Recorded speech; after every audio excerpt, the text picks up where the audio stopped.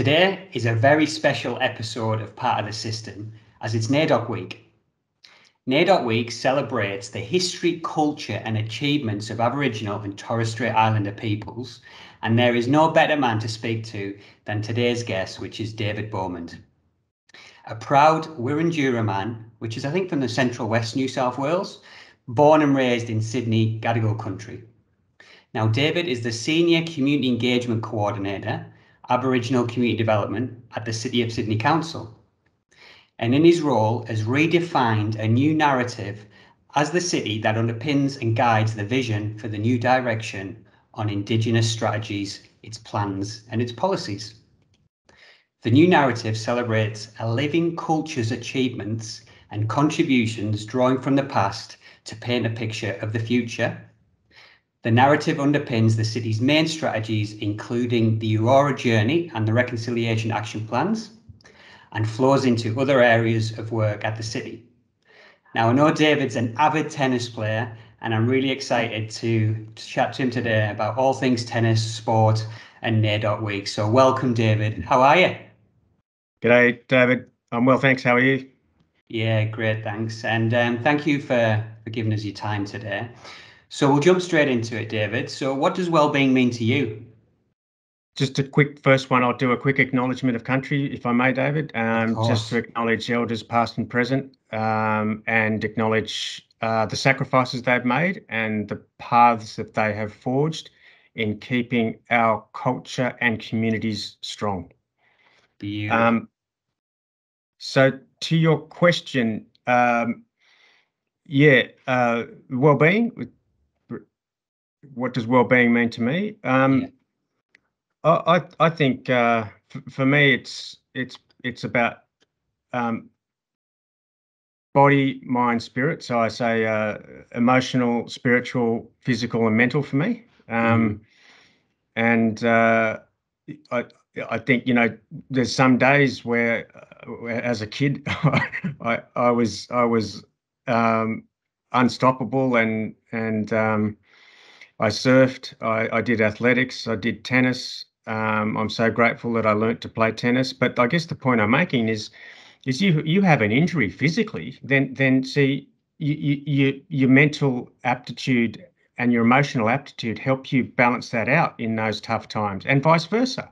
Mm. Um, a lot of sport, particularly in tennis, you might see that um, the emotional part gets the better of their physical aptitude. So so for me, uh, I, I, I always strive to find um, uh, the the balance, um, knowing that uh, those lines of, of can can change dramatically at any point. So uh, how I sort of um, proactively keep abreast of all those all those um, important um, uh, um, spirituality, emotional, mental, and physical. Um, and and I think that that correlation in sport, the thing I love about tennis, and I'm blessed, David, that I learnt that as a kid, um, is I found, although I didn't know that as a as a child, that that I'm a I, I, this gift I've started applying to my everyday life, and uh, I think um, the example for there for me again, if I can use tennis as the example, is finding that equilibrium. And um, I, I would, for me, it's my equilibrium. I, I don't impose that on anyone else. Um, and and uh, you know, you can look at the greats men and women who who found their equilibrium, and you can and you can look at those who didn't necessarily find their equilibrium, and and you know, the story tells itself. So for me, um, that was a gift that I didn't necessarily see when I was learning this beautiful, I call ballet of sport or sport ballet, which is tennis, that incidentally doesn't have, you know, a, a, a finish time like most other sports do. And so, how do you prepare yourself for that? Um, mm. again, mentally, spiritually, emotionally, and physically. And that's one of the beautiful things that, that I like about tennis, which which is is a is, is that gift that it took me a long time to realize. Um, uh, that was staring me in the face. Um, so yeah, equilibrium for me is um, you know what goes up must come down, and finding my equilibrium there was you know, the more you sort of uh, rejoice on a point, well, you know, it can come that back you, you know, in spades if if and then you're going to go down very quickly. So it's that that that's what I'm referring to with the equilibrium, uh, and again with with with life, um, you know, well-being, being well. Um, my mother actually uh, said to me. She was in Southeast Asia and uh, she travels a lot. That's my foster family, um, mm-hmm. and uh, and my, and my, you know people people over here say um oh did you sleep well? And it's like over in southeast asia they say well you know the reality is did, did you wake well? Right? And it makes you think about it. It's like yeah yeah it's a really good point you know? Because you actually don't know if you slept well. You get up feeling yes i woke well. So i'll just put that out there too yeah i love that i mean it's uh well-being it can be different to to everybody can it and then you bring in different cultures uh, for sure. But equilibrium, so balance, I think, is is is really important for you, and and you found that through tennis. Because sport can can teach us so many great lessons and disciplines, can it? Which we can take into our own life. Um, and this connection that you've got with sport, then, um, tell us a little bit about your story, David, and then yeah, and then maybe how sport kind of links into that.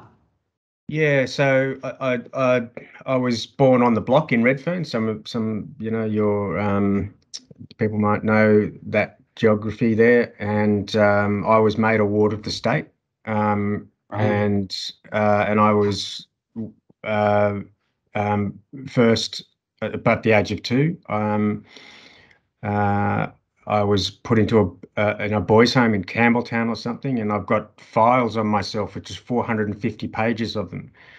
And my beautiful wow. family, the Beaumonts, I, I grew up on um, in the North Shore in Mosman, and um, uh, um, and I, I, that's my beautiful family. Um, however, I never got to meet my mother. My heritage goes back 50,000 years in this country. It's my mitochondrial strain, if you want to get really technical, technical with it, is is called M42A. So that is my that is my bloodline, which goes back 50,000 years in this country. Wow.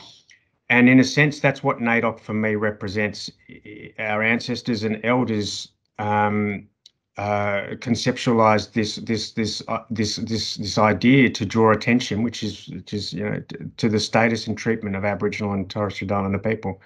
And so, whilst there is an opportunity to celebrate it, I think we also have to have you know we hear the term truth telling. We have to have a better understanding of the reality of policies that that have affected uh, all of us. Um, uh, in this country, and and and and one of the things I'll, I'll talk about later, I hope David, is is mm. um, becoming the greatest expression of ourselves. And and in a sense, that's that's what my challenge was. I I hit rock bottom. So mm. um, you know, I I I absolutely hit rock bottom. Uh, I went to a Catholic boarding school where I was, you know, in the 80s, where I was um, caned beyond belief. Wow. Uh, you know, mocked for the color of my skin and for my heritage. And um, the, what that did was make me strong, and it never blew out my eternal flame. You see, and um, I didn't know that at the time, but I'm thankful for it now because it made me stronger. Mm-hmm. Um, it realize it made me realize, and I and I say this. Um, you know, uh, I believe firmly that my ancestors um, have have uh, one eye on me, and uh, you know, and and uh, and and protect and guide and nurture me and navigate with me on this journey.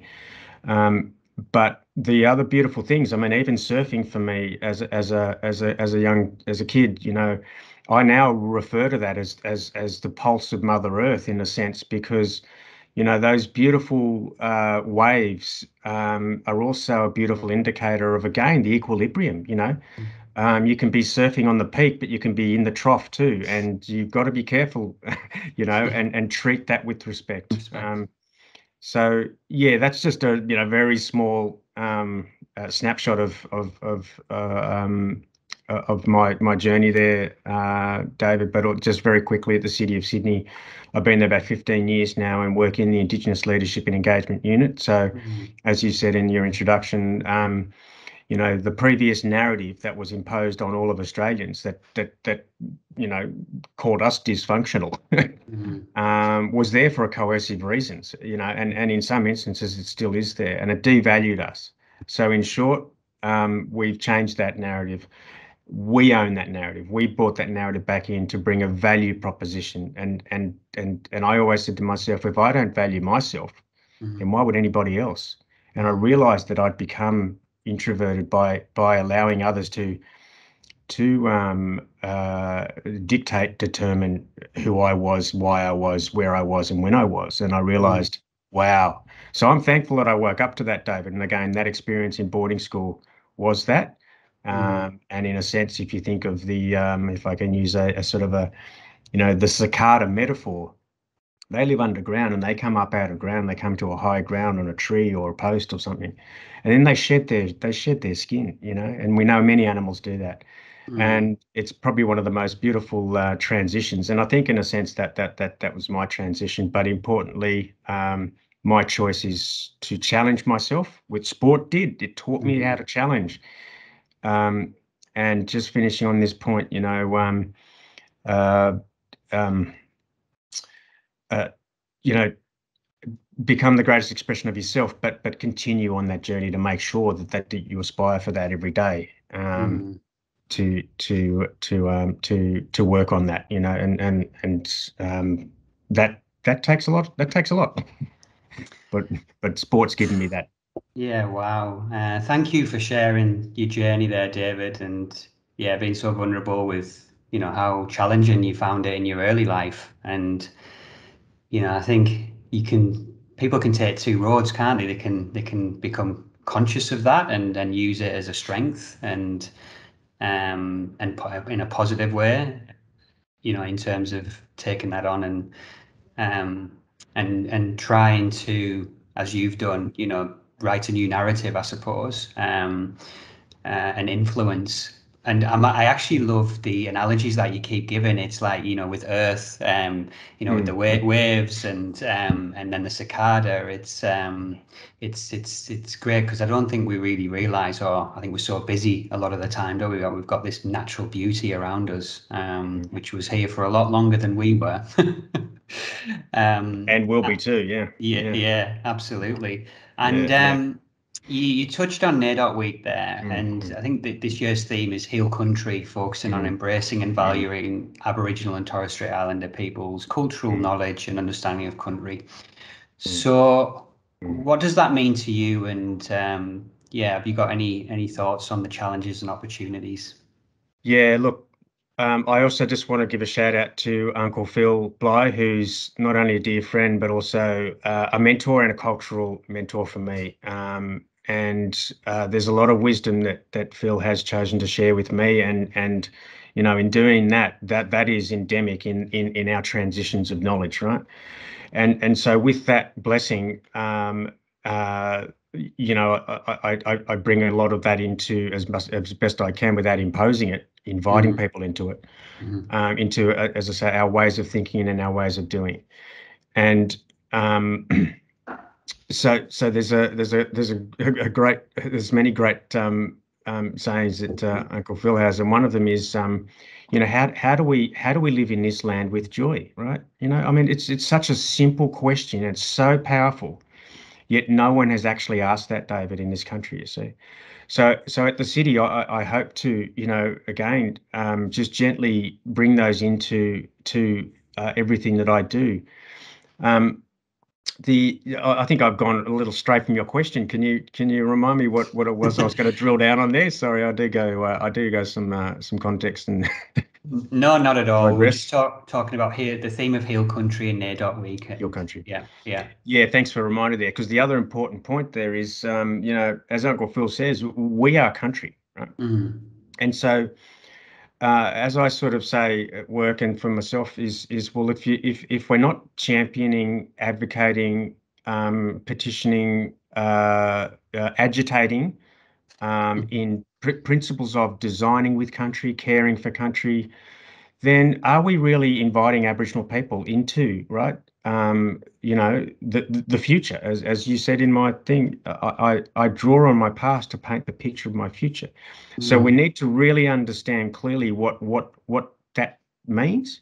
Um, and so again, we are country. We need to we need to be. Uh, uh I think there's an opportunity for this country uh, this country to understand better before it goes to the undertaking. That's what I call mm. that. We need to understand better before the undertaking. Often what we see is we jump to the undertaking without the understanding. So an example of that is, you know, socially, environmentally, economically, Aboriginal and Torres Strait Islander people need to be in every part of the co-creation and co-designing. In other words, if we want to coexist, we have to co-create. And that needs to have financial, social, and economic benefits. If there's not there, then um, what I call the other opportunity that we have, and I call my cultural contract, is my aspirations are for true meaning, not just meaning to be true. Right? So, so if it's only meaning to be true, then slap an Aboriginal word and name up there. Mm. But if you don't have the meaning to it, like a great piece of art, if you don't have mm. the narrative and the story on a corporate wall, mm. then then then you, you've taken away the value of that, and that's in that's in a sense what the narrative did that was imposed on all Australians, David. Mm, mm. The narrative only told one part of the story, mm. and it mm. was very one-dimensional, right? I'm being very polite here, but but that that I, I, say to people, don't come to me with your one-dimensional education, fed education of our multi-dimensional capabilities, right? Okay, people go, oh, what?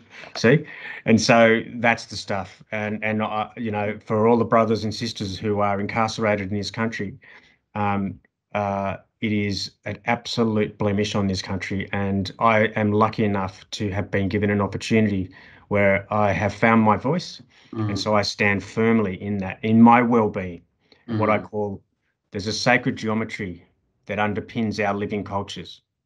And that sacred geometry for me, David, is is ideology, mythology, wisdom, knowledge, transitions of knowledge, and all those beautiful things. Mm. And if they're not there in that in that beautiful narrative going forward, then again I call it just meaning to be true, and I call mm. it artificial intelligence. Mm. So that's the opportunity that we've got in this, what I call the cusp of, uh, you know, we're on the cusp of a cultural renaissance. Everyone wants a piece of us now. They mm. wanted a piece of us 20 years ago. Mm. Yeah. So, so we we need to own that cultural and intellectual property too, as First Nations people. That's our responsibility. What institutions need to understand, corporates and governments that are undertaking uh, reconciliation action plans they need to understand the Declaration of the Rights of Indigenous Peoples. And for us, should we choose to take up our responsibility of the carriage of our culture, mm. then then we start to chart a course on partnerships, David, mm. not relationships. There will always be a relationship with a partnership, but there'll necess- there won't necessarily be a partnership with a relationship. Do you know what I mm. mean? Yeah. Mm and we have the relationship with this land, mm. with one another. We just don't have it as best we could, should, and would mm. with the power structures in this country. So. I'll kind of just touch on that. Yeah. Yeah. Wow. And from what I'm hearing, it's still a choice, right, for Tor- Aboriginal and Torres Strait Islander peoples in terms of going on that journey. Um, because from what you're saying, you know, sometimes it can be a bit tokenistic with is it a name you know but there's there's much more there's multiple dimensions to that. And it's really looking at every part of the system um, in terms of the involvement of aboriginal and torres strait islander people to you know try and i suppose change educate um, and influence um, you know the um, organizations and um, it's you know that cultural kind of awareness and and coming david from from england um mm. 12 years ago you know it's uh mm-hmm. it's it's i'm learning all the time you know um in terms of what what what the history and you know and what what's happened and um you know there's obviously a lot of work to do and, and maybe NAIDOC Week is, is one small part of that um but in terms of your work um at the city of sydney and you know around aboriginal community development um, yeah, tell us a bit about that and how that's been going. So, um, I guess we've touched a little bit on what I refer to as um, the the the cause and effect, right? Yeah. So the policies that were written and enforced to exclude First Nations people from every part of society, David. My my my elders, my ancestors, uh, grew up on a mission, if I can call it that. Grew up, they were herded into a mission, concentration mm-hmm. camp. This is in Wellington. Mm-hmm. My, my mob from there, um, Wiradjuri, just correcting on your your pronunciation at the front end there, Wiradjuri, right? And and so what I talk about with that, you know, we're on as again Uncle Phil refers to, there, there, there's not a traditional and a contemporary. You know, what what there is is there is a continuum. You see. So thank you again, Uncle Phil. Um, the the what I refer to this is the cause and effect. Yeah. So the cause is the laws. Yeah. The effect is what we're languishing in today, right? Cause and effect. Yeah. Mm-hmm. Well, what happens if I just turn turn those two words around? We come up with effect, a cause. Mm-hmm. So what I've realized on my journey, David, is I'm going to do my best with my cultural contract to affect a cause. Yeah. Mm-hmm. And that's what we try to do at the city mm. is is aspire for true meaning, not just meaning to be true. So when I talk about what does leadership and and and and a future look like to me, you've got to call out the haze, the maze, and the glaze, right? Then you chart a course through the haze, the maze, and the glaze. Yeah. So unless we call it out, which is what the concepts of truth telling, which is what the concept of um, you, you know a voice to parliament and and written into the constitution, those sorts of things, that's calling out the haze, the maze, and the glaze. And now let's chart a course through the haze, the maze, and the glaze. But if only one group of people are going to chart that course, then, right? Mm. Yeah. So um, the other the other point I wanted to just touch on there is when you asked me about healing, um, uh, well-being, and you know, it, it's a pretty basic thing. You know, you eat eat well, sleep well, hydrate, and exercise. Right? That's what I do. Yeah. Um, and um, I think part of the guiding principles um, I, I always suggest to people with with whatever we do in in this um, journey of us at the city of Sydney aspiring to become the greatest expression of ourselves. Mm. I'm not imposing a vision on people. I'm just suggesting that if that's what we agree to become the greatest expression of ourselves, the same way I had to do that, David, to transform my life from being on rock bottom. Um, that gave me the ultimate challenge. And then what it did is is is it opened up the possibilities of oh, I like what that sounds like, becoming the greatest expression of ourselves in a global city. Um, and then, in a sense, people evolve and activate and agitate in their sphere of influence within their immediate individual worlds, professionally and personally. And that's the stuff, there's a great saying that someone can't do everything, but everyone can do something, you know? Mm, mm. And so I, I, sort of suggest whenever we work in the Indigenous space, um, it's it's with humility, it's with integrity, it's with authenticity, it's with dignity, and it's with money. If you don't have one of those five things, then ask yourselves, what are you doing? And so what I sort of try to do is is apply those things with with our team. I acknowledge EDCO and Preston Peachy. There's only three in our team. I've been there 15 years and we're only two years old in that unit. Mm. So it's not telling people what to do. It's it's co-creating the outcome and equally as important, it's the process and the procedure and the journey to that outcome. Mm-hmm. Um, and and again, using some some you know humility. And what I talk about too, David, is is contrition. You know, um, and Just and often that. explain that for me. Contrition. Yeah, con- to, to, you know, um, con- contrition is is is about in a sense giving something up right? Yeah. So when we go down to the deep deep deep core issues of sovereignty never ceded yeah mm. then we start to see another good rule of thumb for me is it's not what you see in here it's what you don't see in here. That's that because we're seduced very easily as human beings right so when I when people say, "Oh, can you know show me a show me a, a reconciliation?" I, I, see culture five pages in, right? Mm. Wow, that doesn't that doesn't tell you how much you value our culture, our living cultures. Well, mm. it says a lot, right?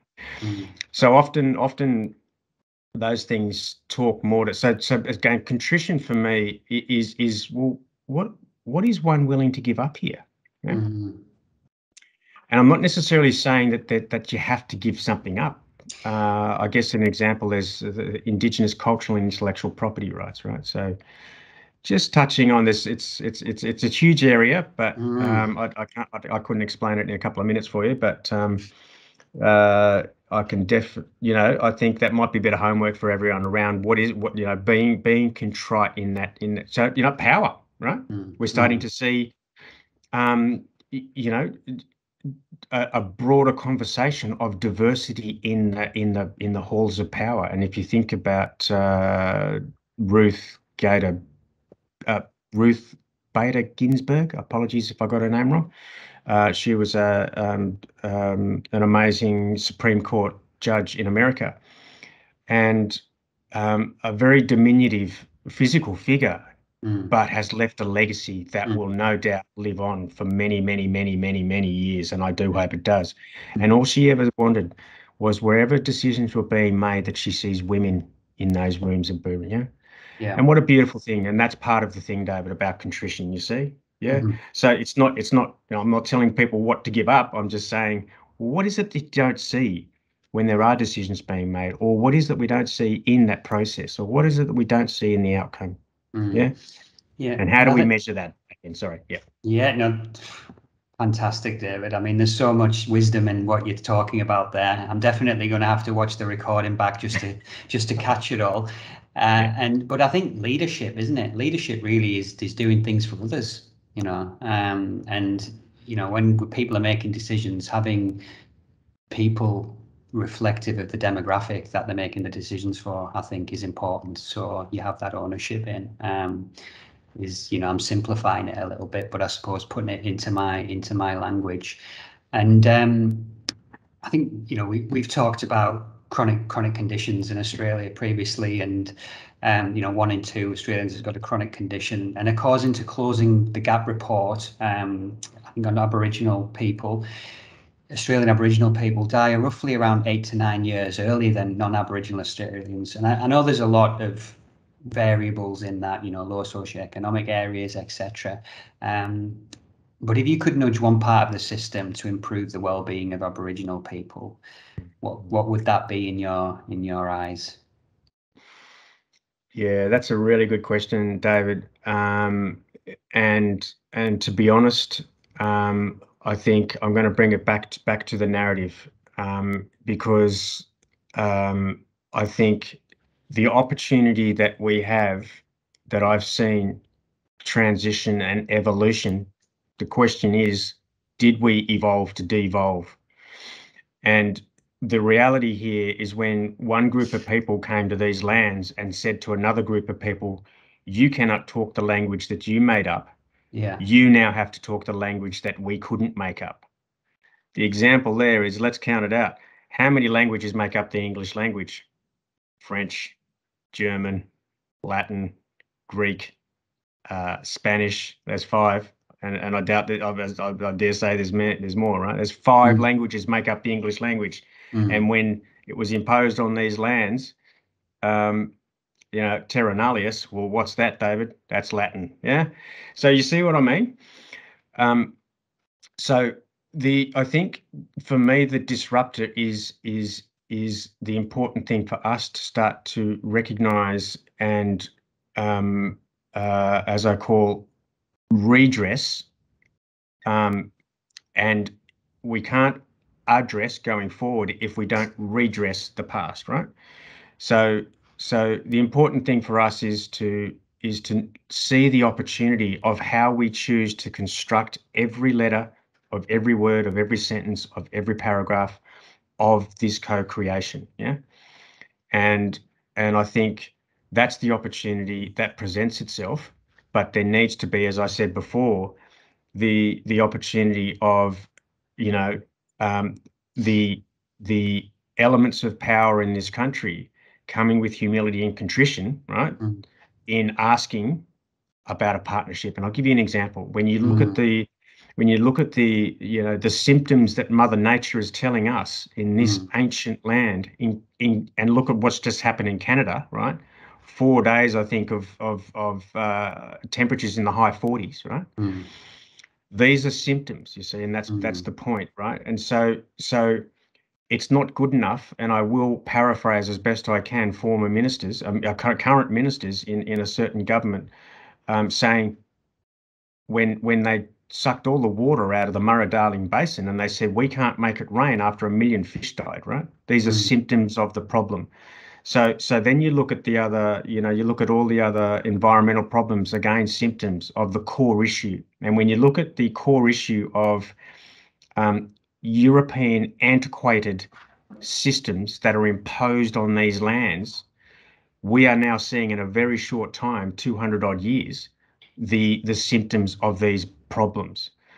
Um, and by by dismissing and denying the Indigenous voice and knowledge, which needs to be paid for going forward, then these are some of the opportunities I see that will benefit socially, environmentally, and economically. Mm. And then we've got the three in there. So so sustainability is one thing, David, but we also need to do that ethically. Yeah. Mm. See, and so so that's that's the point. Um, you know, drawing on that sort of philosophical approach and the ide- the, the ideology again with Uncle Phil there in mind is Indigenous ideology is power in creation. And you look at Western ideology, if you can call it that, it's power over creation. And what are we seeing now? We are seeing the symptoms on a biblical scale of what power over creation has done and the legacy that's leaving, David.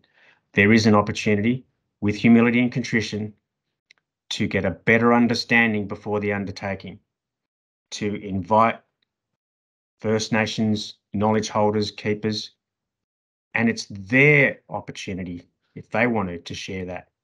Mm-hmm. But the ground needs to be cultivated with that humility. And I do not see any humility in these current federal governments, the way that they continue to. Um, I don't want it to get political, but mm. the, the, the the you know again to what you're seeing here, that's what you don't. So those some, some deep ideologies there. I hope to share those with people. Yeah, yeah. wow. I can just share one very quickly with you. I, I kind yeah, of just wrote it down. I don't know if you can see that, but um, it's a bit scribbly. Under just can you see that? All right, does that hold up? Yeah, yeah. Uh, and I've got there. Um, for me, another thing was, uh, you know, when I had to dig myself out of, you know, the hole that I was in. Uh, remember, I talked spoke about the value, and mm. and so so for me, it was kind of the figure of eight, right? And mm. for me, it was about David. You know what? You got to present yourself and when you present, you represent. And if at first you don't succeed, you represent and you stay present. You see, David? Now that whole that whole cycle continues, you see? Yeah. And so that's what I aspire to doing, becoming the greatest expression of myself myself. Fantastic. And and that the the the figure of eight there that you've just talked about, is that is that yours? Or has that been passed down by Uncle Phil? Yeah, no, I made that one up. In in in uh, another one that I made up, another saying that I made up was um, uh, a man who holds his head high sees all, and all see a man who holds his head high. Right. Mm. And so for me, I realized, David, that I'd lowered my head mm. because I'd allowed people to influence, you know, that that beautiful um, eternal flame in me mm. but no one ever blew it out. Mm. And that gets emotional for me. So I I realized, and that's the one I'm talking about with the power of language and narrative. That that just came to me, and and as you can see, I don't have to write that down. I, it, and but the only and the present present present represent stuff. Um, the other one I'll just share with you quickly is um, you, you touched on it earlier. Uh, we we all play a part, right? And the other one is we all play a part. The question that we have, which part do we play? And see, there's common ground. Now, if you have authority and rank and status and role, and you're on that common ground and you're taking it up and you're not doing anything to evolve mm. and make things better for everybody, then I suggest you jump off. If you're down here and you know that you can contribute on that common ground, step up we need to reach down to step up. And if mm. you're above and you need to, you know, support that, come down to the common ground. But that common ground is partnership, David. See, I'll keep mm. coming back to that partnership. So, so for me, that question is is a rhetorical question. Which part do we play? You know, do we play a part or do we play a part? Well, I mean, we I think we're all part of the system, if you if if you will. Um, uh, but I think that common common goal is really important. We we need to really understand about what we're trying to achieve, how we're trying to do it, and who we're working with. Um, and that's really systems, isn't it, David? You know, it's uh, it's a, it's about connecting the dots and working together. And we've all got different perspectives. You know, we all I- I come would- from I would add in there why too. We need to also know why we're doing things. Yeah, because again, that that talks to the understanding in in the Aboriginal and Torres Strait Islander space, David. You see. So again, if, if until we, you know, there are decisions made in the constitution of this country where other people can make decisions for us simply based on our race.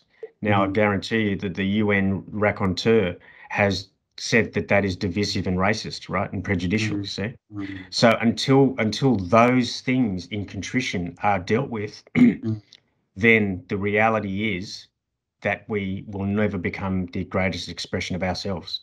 mhm, And that's what I think when we look at the opportunities that present themselves um, in in our identity. mhm. Well, well, our identity goes back. We've got two timelines, David, right? One that continues to go back, and the one that we share continuing to go forward. But there's an opportunity for us to be more humble in understanding the signature of this place and the people who have that story of this place and this relationship with Mother Earth. Mhm. And that's the stuff that I think excites me and gives me hope in going forward. Yeah, and I think it's role models as well, isn't it? Is is is is huge. There, Where we did we did we take it back to sport? Um, I was watching the um, Cathy Freeman on ABC last week, and uh, and for somebody that wasn't even in Australia in, in 2000 in the Olympics, to to see the pressure on on her and and what that meant for the country. Um, you know, we can you remember that time? Uh, we, Yeah, 2000. Yeah. Yeah. yeah, yeah. Um, were you in the stadium? No, no, no. I wasn't No. lucky enough there, David. yeah. Um, and you know, just from a, I suppose a, a sport culture kind of perspective, did what did that? You know, how did you feel about that when you know Cathy was winning the the gold medal there, and you know, did that have a rip- did that have a, a ripple effect, um, or you know, a positive impact? Oh, yeah, without a doubt. Um, I mean, and, and and and the legacy that's flowed from her, but but you know, they're they're they're they're also taking nothing away from that amazing achievement and and the Mm. discipline, as you pointed out earlier, David. Um, you know, I, I, again, when I do my acknowledgement, it, it- it's also acknowledging all those others who who Mm. who um, were far less privileged than than um, um, you know, and she worked so hard, uh, Cathy, um, and it's inspired so many people, and it's actually priceless, right? It's a beautiful thing. Mm, mm, Um, so yeah, to answer your question, yeah, and um, and I think you know she's created uh, you know amazing foundations and legacies from that. Mm, uh, but I also acknowledge the others who who um, uh, from nothing. I mean, look at Adam Goodes. You know, Mhm. um, uh, you know the, the the legacy he's and and um, uh, made and and left uh, and inspired people. You know, so. Um, I, I, I'm not going to choose one over the other. I just think they're all brilliant and Yeah, uh, done an amazing thing, and, and the application of their sport has has indelibly um, affected themselves, their their community, their families, and indeed added to the identity of this country. And I think that's a beautiful thing.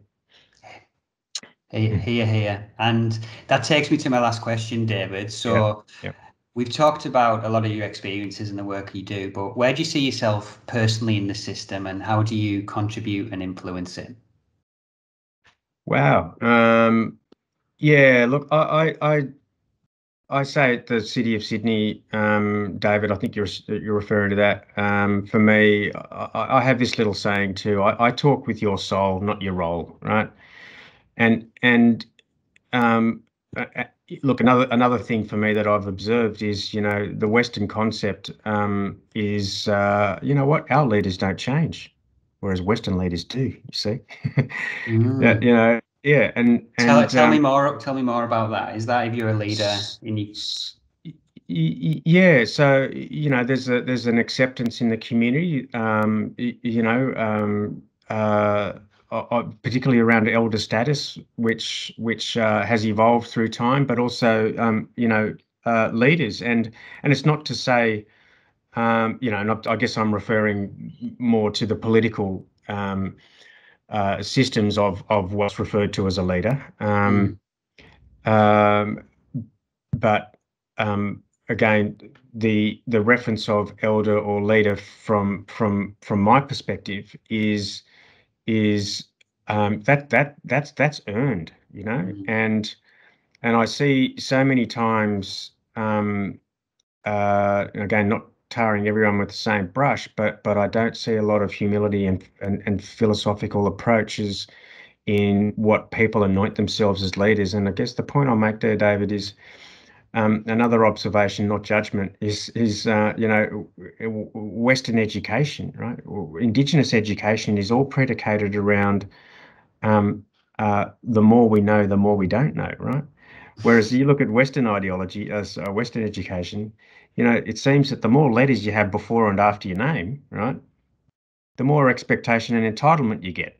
Mm. And when you mix that with the thing that we've all got in us, ego, right? Everyone has ego then that's when it becomes toxic, David. And you don't see the humility and you don't see the integrity. And that's the stuff that that says to me there's an opportunity for us to to refine and define and get better at that. Yeah. Mm. So that's what I try to do, not not say what am I going to do. I, I, try to I try to um, what are the values and the ethics and the morals, and we've got those in spades as First Nations people mm. because we've evolved those over time as a discussion and a dialogue and then tested them. And it's not to say again that two can't coexist, but when you look at again sort of political systems and the cycles in which they operate in in bureau, um, democracies, it's often a three or four year cycle, is it not? Yes, mm -hmm. and that and and and that that then that whole system you'll talk about your system, that whole system is then susceptible to those elements of corruption, and we mm. see that right. So, so that's I don't you know I don't want to yeah that's it's it's a it's a, I don't want to digress too much, but but for mm. me it's about the approach that I choose to to do, and and then if that um, if that acknowledges the Hayes, Mayes and Glaze and charts a court through it, the Hayes, Mayes and Glaze, um, those values I know see see see steadfast in in those times of turbulence, and mm. um, and that's that's reality. The, the, the chaos is there. We see it again, as we've re- referred to earlier, with with Mother Nature and and and and her telling us that you know the symptoms of the problems. Well, well, in a sense, there's there's there's conflict in in in in the indigenous ways of thinking and doing, um, juxtaposed to the political systems of ways of thinking and doing. You see. Yeah. So it, it's those sorts of things, and I hope that makes sense. Not not too too confusing. No, that was fantastic. And I just feel that in Western society, we've got it completely the wrong way around, David. So I think there's a there's a lot of work to do, isn't there? Um, I think in you terms could, of that equilibrium. Could, I think because yeah. yeah. You could call it um, consumption over ideology or ideology over consumption, right? Mm, mm. So one reference, yeah. Yeah. Well, I've loved your sayings, and uh, there's there's there's been a lot in this chat, David. Um, I really appreciate you for for who you are and acknowledge you. Um, you know, in that wholeheartedness that um, that I that I feel from you, and and I, and I see in the work that you do. So, um, I just wanted to thank you for yeah your time today. And is there anything else that you'd like to add? David, just just one last thing. Thank thank you for the invitation. Uh, I've known you for, for many years now. I I, um, I see an amazing person, um, but also what you've created in in in um, collective leisure and and and and that aspiration. The one thing I'll find I'll finally sign off on is um, another rule of thumb for me. Two things. One is um, um, people shut down when you tell them what you're going to do, but they mm-hmm. open up when you show them what you've done. Right. And then the other one is and I made this saying up too.